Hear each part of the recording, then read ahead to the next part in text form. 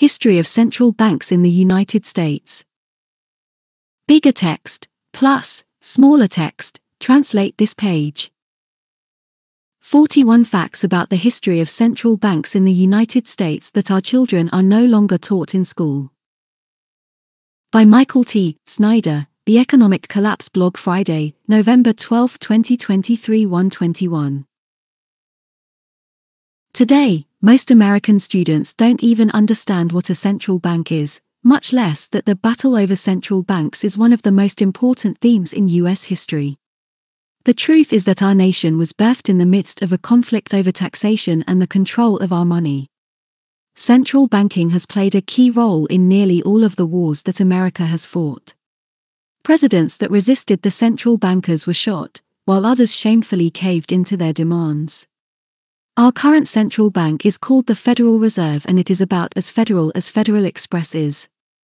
The truth is that it is a privately owned financial institution that is designed to ensnare the US government in an endlessly expanding spiral of debt from which there is no escape. The Federal Reserve caused the Great Depression and the Federal Reserve is at the core of our current economic crisis. None of these things is taught to students in America's schools today.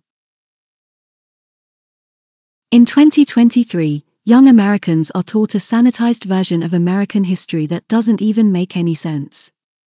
As with so many things, if you want to know what really happened, just follow the money.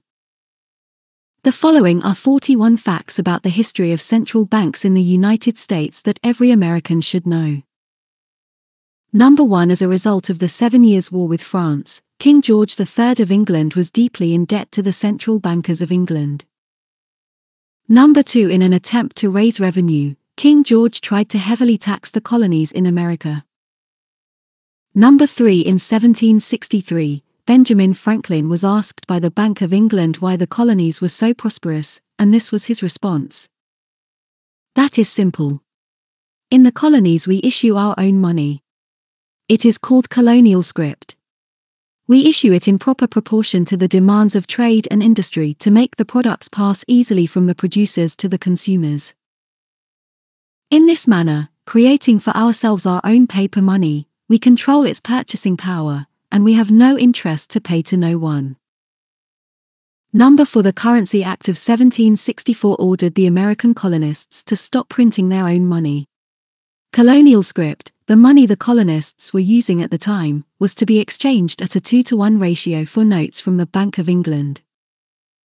Number 5 Later, in his autobiography, Benjamin Franklin explained the impact that this currency change had on the colonies. In one year, the conditions were so reversed that the era of prosperity ended, and a depression set in, to such an extent that the streets of the colonies were filled with unemployed. Number 6 In fact, Benjamin Franklin stated unequivocally in his autobiography that the power to issue currency was the primary reason for the Revolutionary War. The colonies would gladly have borne the little tax on tea and other matters had it not been that England took away from the colonies their money, which created unemployment and dissatisfaction. The inability of the colonists to get power to issue their own money permanently out of the hands of George III and the international bankers was the prime reason for the Revolutionary War. Number 7 Gouverneur Morris, one of the authors of the U.S. Constitution, solemnly warned us in 1787 that we must not allow the bankers to enslave us. The rich will strive to establish their dominion and enslave the rest. They always did. They always will. They will have the same effect here as elsewhere, if we do not, by the power of government, keep them in their proper spheres. Number 8 Unfortunately, those warning us about the dangers of a central bank did not prevail. After an aborted attempt to establish a central bank in the 1780s, the first Bank of the United States was established in 1791. Alexander Hamilton, who had close ties to the Rothschild banking family, cut a deal under which he would support the move of the nation's capital to Washington, D.C. in exchange for Southern support for the establishment of a central bank. Number 9 George Washington signed the bill creating the first Bank of the United States on April 25, 1791. It was given a 20 year charter. Number 10 In the first five years of the First Bank of the United States, the U.S. government borrowed $8.2 million and prices rose by 72%. Number 11 The opponents of central banking were not pleased. In 1798, Thomas Jefferson said the following I wish it were possible to obtain a single amendment to our Constitution, taking from the federal government their power of borrowing. Number 12 In 1811, the charter of the First Bank of the United States was not renewed.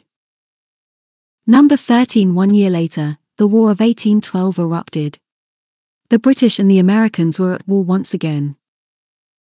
Number 14 In 1814, the British captured and burned Washington, D.C., but the Americans subsequently experienced key victories at New York and at New Orleans. Number 15 The Treaty of Ghent, officially ending the war, was ratified by the U.S. Senate on February 16, 1815 and was ratified by the British on February 18, 1815. Number 16 In 1816, another central bank was created. The Second Bank of the United States was established and was given a 20-year charter. Number 17 Andrew Jackson, who became president in 1828, was determined to end the power of the central bankers over the United States. Number 18 In fact, in 1832, Andrew Jackson's re-election slogan was Jackson and no bank.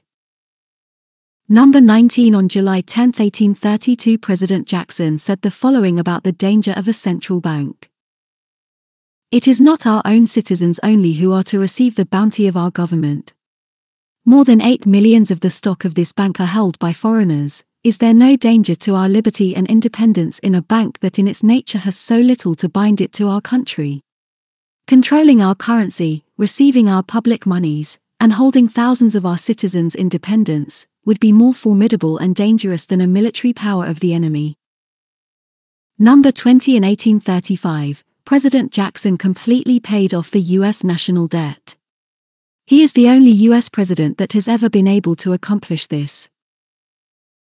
Number 21 President Jackson vetoed the attempt to renew the charter of the Second Bank of the United States in 1836.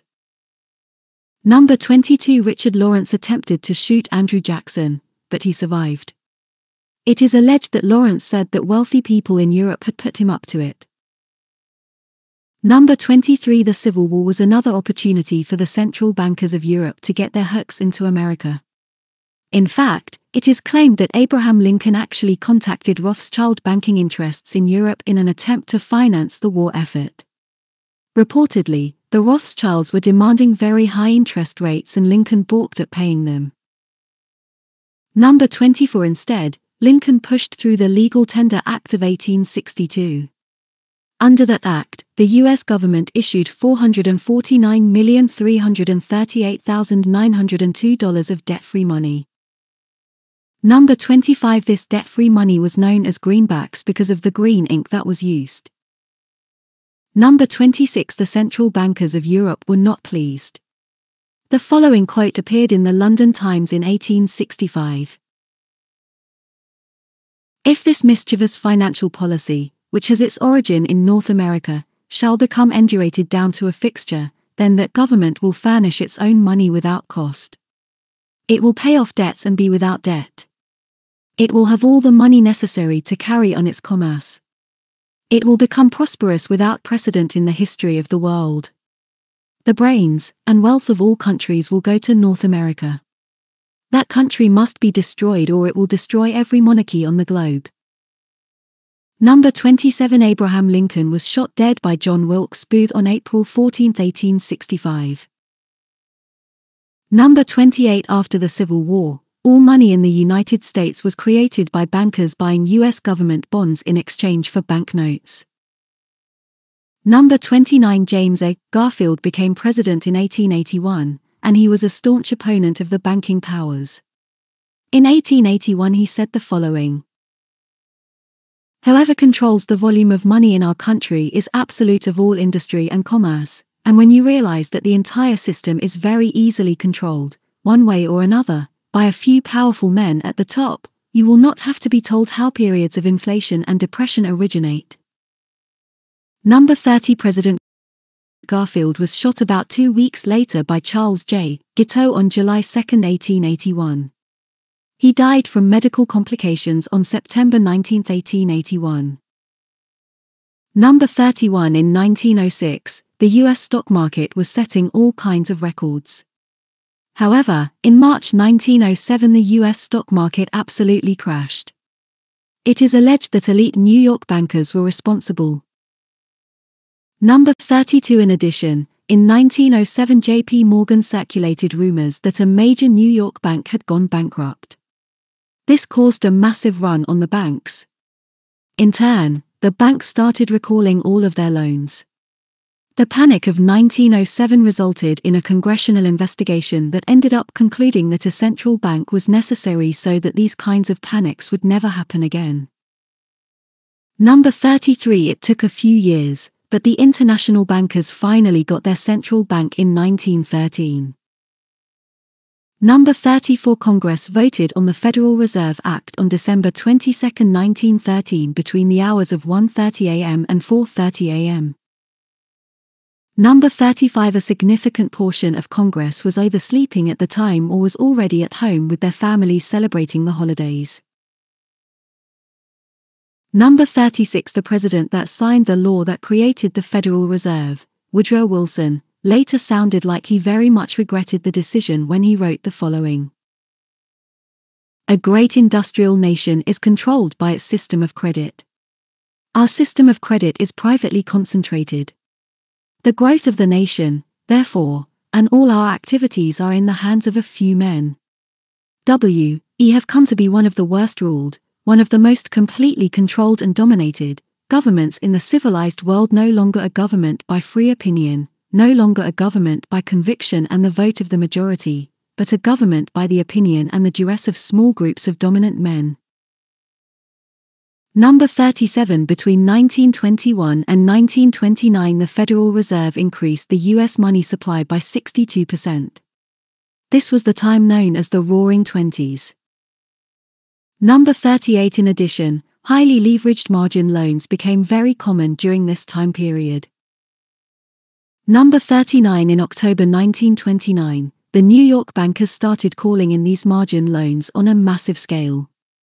This created the initial crash that launched the Great Depression. Number 40 Rather than expand the money supply in response to this crisis, the Federal Reserve really tightened it up. Number 41 In fact, it was reported that the U.S. money supply contracted by $8 billion between 1929 and 1933. That was an extraordinary amount of money in those days. Over one third of all U.S. banks went bankrupt. The New York bankers were able to buy up other banks and all kinds of other assets for pennies on the dollar. But are American students being taught any of this today? Of course not. In fact, it is a rare student that can even adequately explain what a central bank is. We have lost so much of what is important about our history. And you know what they say those who forget history are doomed to repeat it. It is absolutely critical that we educate as many Americans as possible about what is really going on in our financial system and about why we need to make some truly fundamental change. Michael T. Snyder is an attorney, a blogger, a Christian, a writer, a speaker, and an activist. He is currently the publisher of the Economic Collapse blog.